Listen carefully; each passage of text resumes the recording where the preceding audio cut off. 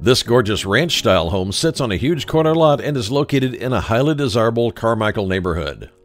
You will not be disappointed with the wonderful floor plan that features a large, bright, livable space, an open kitchen, and great sized bedrooms.